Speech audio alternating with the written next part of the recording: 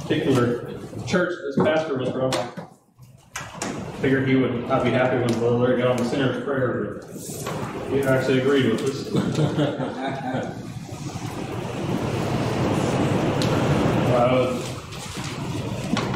With the, you talking about the building, how we can meet out of the rain, out right of the church in the Philippines over there, they just celebrated their, it was ninth anniversary a couple, a week or two ago.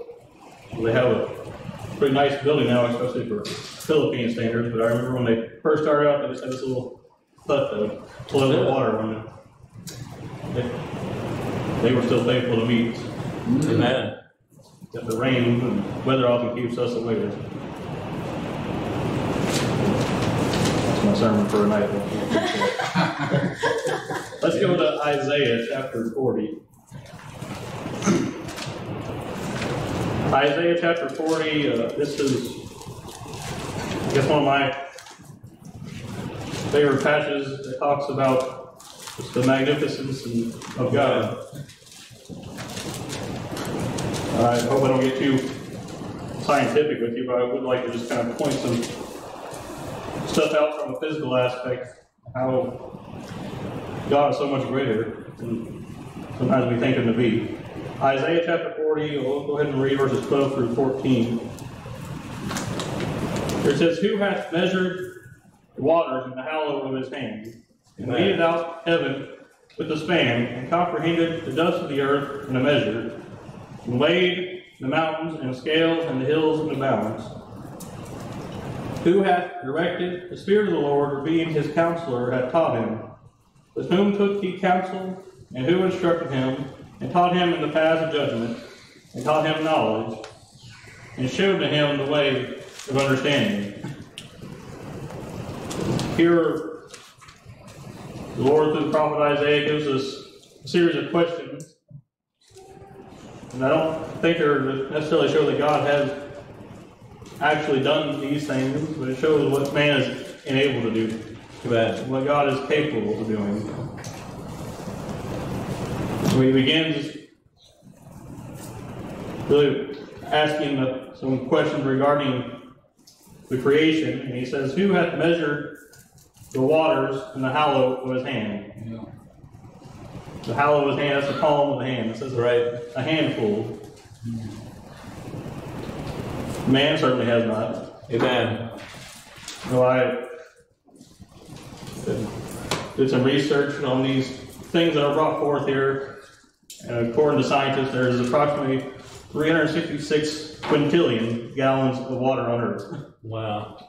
And that goes million, billion, trillion, quadrillion, then quintillion is the next one. Hmm. and that's God is just held just as in the palm of his hand. Amen.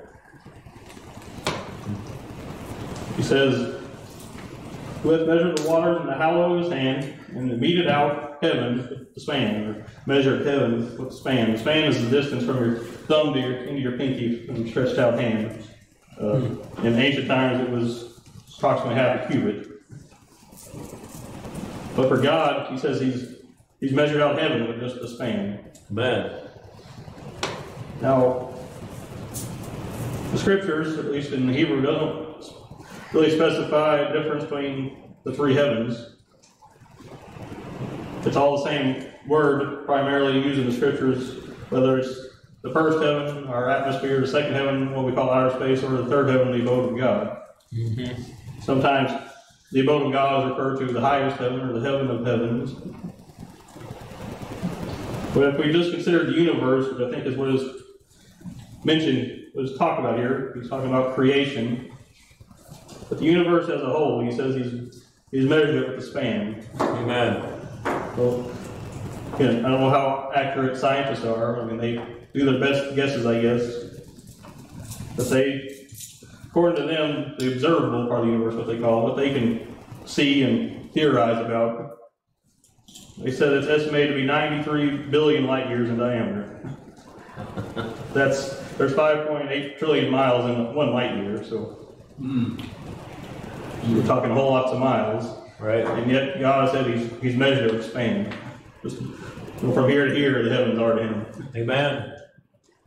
You know, and all of that, and then there's this tiny little rock called Earth, and here we are on it. Amen. Yeah.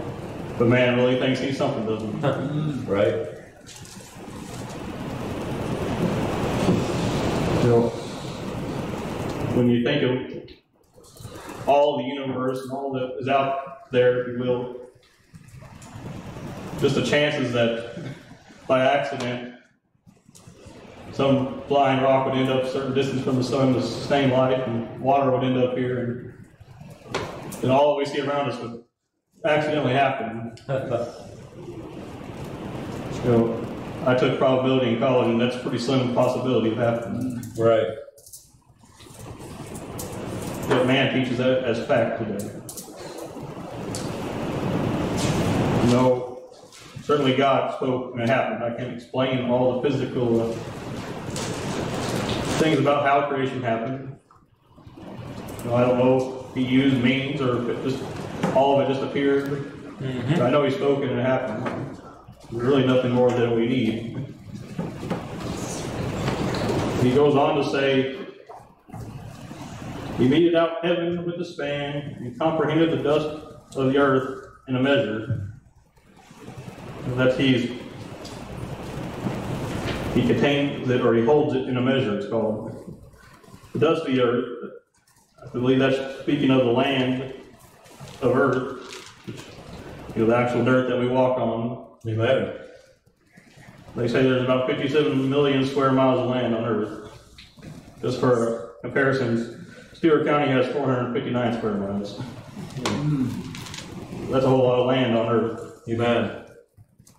He says he's comprehended it in a measure. This word measure indicates that it's a third part of something. And coincidentally enough, the land covers about a third part of the earth. Amen. I'm sure God knew what he was doing. Amen.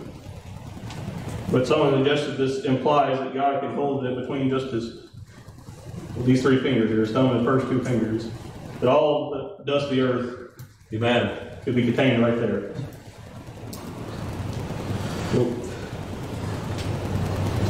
Really, when we think about the massiveness of God, we can say, just like David did in the Psalm, when I stare at the heavens, work with thy fingers, the moon, the stars, thou hast ordained, what is man?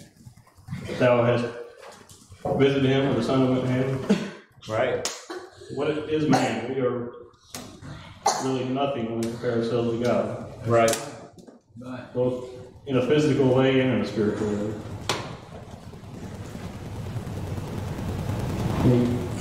He, goes on to say that he's weighed the mountains and scales and the hills in the balance.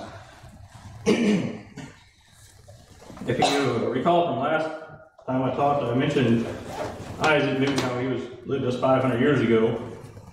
Before him, ancient times, they didn't have the modern day idea of weight that we have. they didn't step on a scale and say, oh, I weigh 200 pounds. No, really, they, they measured basically mass. How much Right.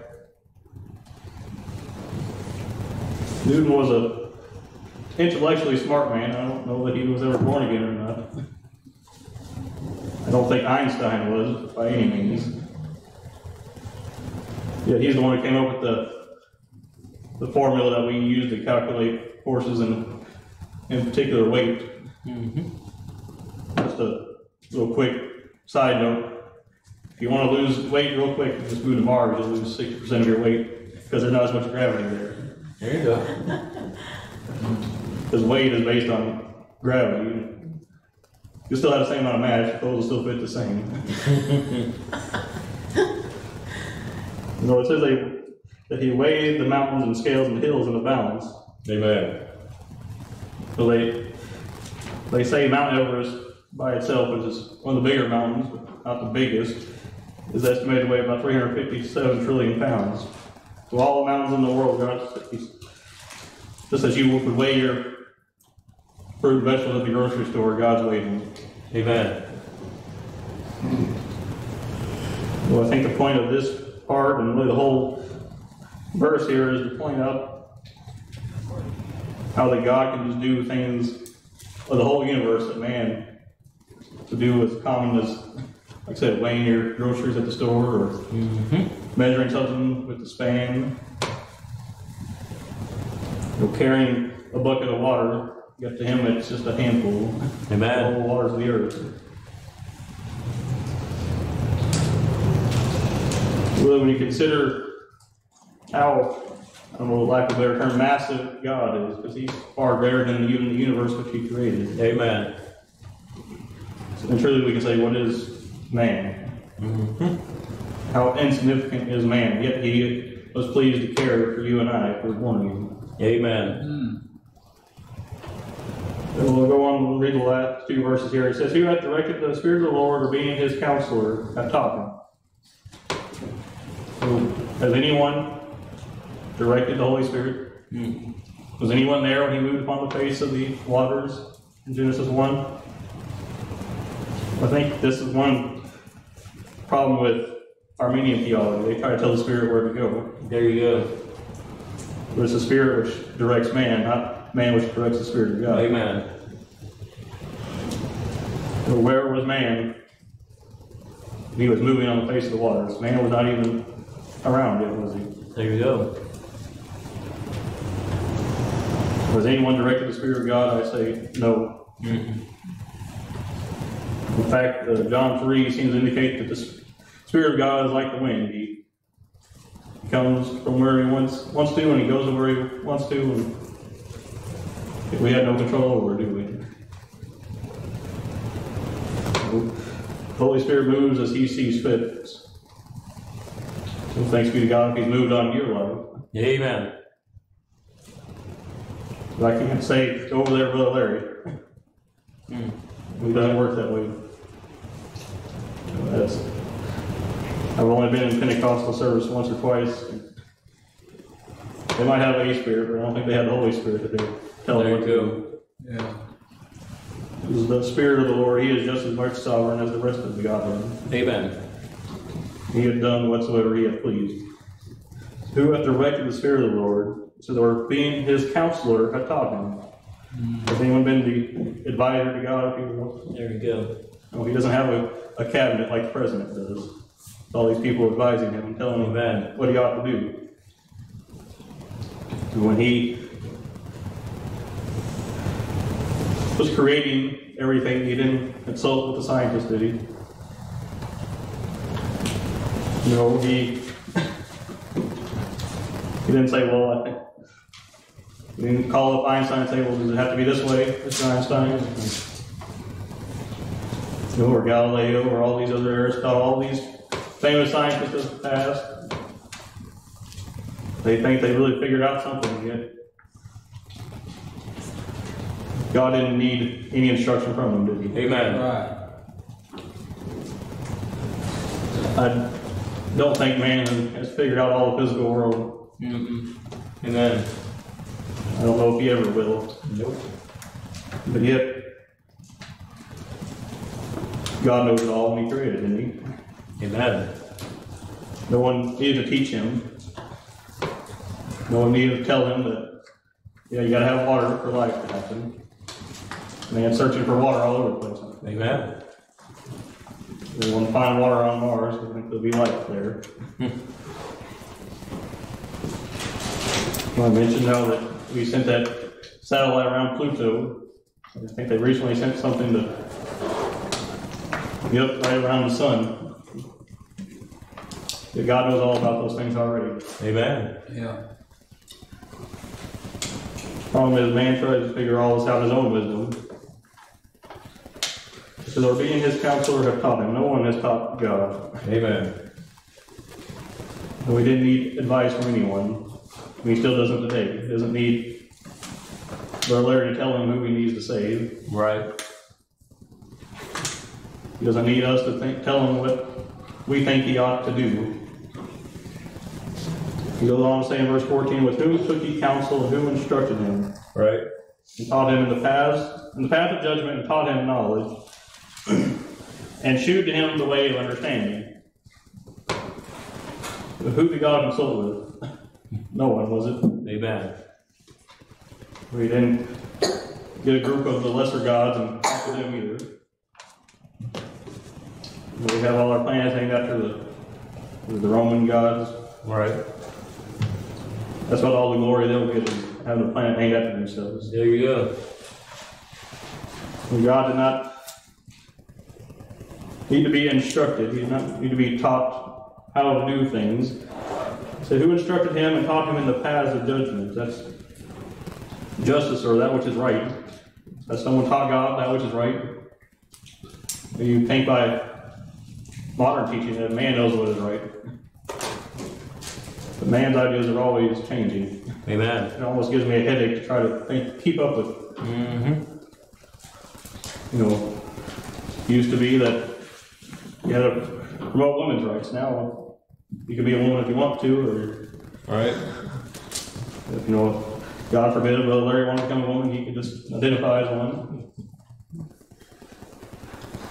But it's kind of gives you a headache trying to even figure out their line of thinking. Right. Man does not know what is right, yet he thinks he knows better than God. There you go. Who, with whom took he counsel, and who instructed him and taught him the paths of judgment? No one taught God what is justice or what is right. No, God is the one who established that is, which is right. It says who and taught him knowledge. Was there anyone that imparted knowledge to God? Is he not all knowing? Amen. Uh, In another scripture, it says that he is declared from the ancient times things which are not yet. God already knew that Mr. Biden would be elected. It didn't take him by surprise. Right. Amen. Whoever ends up in the White House next election will not surprise God. If America falls one day, will not surprise God. Amen. When Isaac Newton formulated his theory of gravity, God already knew about it, didn't he? Amen. God didn't say, oh, well, that's a good thought there, Isaac.